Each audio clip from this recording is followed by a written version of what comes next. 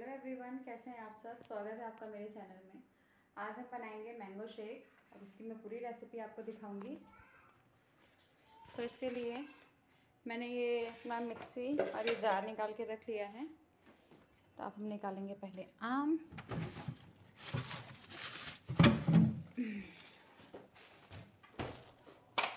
ये देखिए गाइस ये हम इसमें से निकालेंगे मैंगो। ये देखिए। देखने में ही कितने सुंदर लग रहे हैं, ये देखिए। तो आम का सीज़न आ चुका है तो बच्चों को काफ़ी पसंद भी है मैंगो शेक तो मैं यहाँ पे बनाऊँगी दो आम का मैंगो शेक देखिए, और एक आम हम वापस रख देंगे।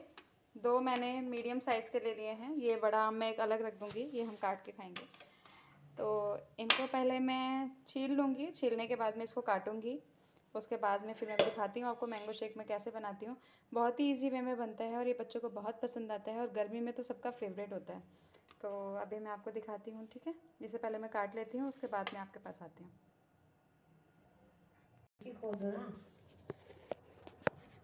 तो ये देखिए गाइस हम इसे काटेंगे।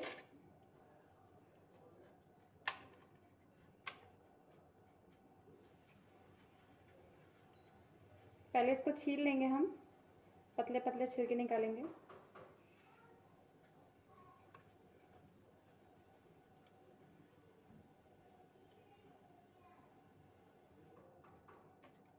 इनको मैंने धो लिया था। धोने के बाद में मैं इन्हें काट रही हूँ।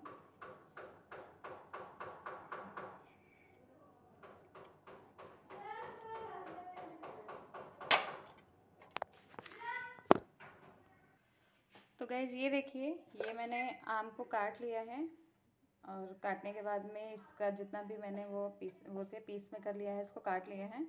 गुटली मैंने अलग कर ली है।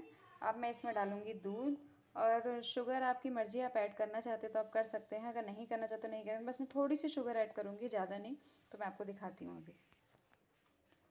गई मैंने आधा ढक्कन शुगर ले ली है, ये इसमें मैं डालूँगी। वैसे आम अपने आप में ही बहुत मीठा रहता है, मगर अभी जो आजकल के आम आ रहे हैं तो ये प्रॉपर मीठे नहीं है, इतना इसमें टेस्ट नहीं है आम में। तो इसलिए थोड़ी सी इसमें शुगर ऐड करूँगी, क्योंकि आम जो मैंने कल भी बनाया था इसका जूस तो ये इतना मीठा नहीं था। तो इसमें मैंने थोड़ी सी शुगर डाली है, अब मैं डालूँगी इसमें दूध। तो गैज़ ये देखिए मैंने दूध ले लिया है, ये कितना ठंडा है, ये भी देख लीजिए आप। ये देखिए, ये बिल्कुल ठंडा दूध लिया है मैंने, एक गिलास दो आम के लिए आप दो ग्लास दूध भी ले सकते हैं बट ज़्यादा पतला भी नहीं बनाना है। तो पहले हम इसमें दूध ऐड नहीं करेंगे, पहले हम इसको थोड़ा सा एक बार ग्राइंड कर लेंगे ताकि जो इसकी चीनी है ये मिक्स हो जाए, वरना चीनी अलग से ही आएगी। उसके बाद हम दूध को डाल के एक बार फिर से ग्राइंड कर देंगे, ठीक है? ये देखिए गाइस ये ग्राइंड हो रहा है। इसे हमने ग्राइंड कर लिया था, अब हम इसमें डालेंगे दूध। और आपके पास अगर आइसक्रीम है तो आप इसमें आइसक्रीम भी ऐड कर सकते हैं, इसका फ्लेवर और अच्छा हो जाएगा। तो मुझे इसमें दूध थोड़ा कम लग रहा है तो मैं थोड़ा सा दूध इसमें और ऐड करूँगी। तो गाइज़ ये देखिए, इसमें मुझे दो गिलास दूध ऐड करना ही पड़ गया। ये दूसरा ग्लास दूध भी मैं ऐड इसमें करूँगी। तो गाइज़ ये देखिए, मेरा जूस बन के हो चुका है रेडी ये देखिए, ना ही ये ज़्यादा गाढ़ा है, ना पतला।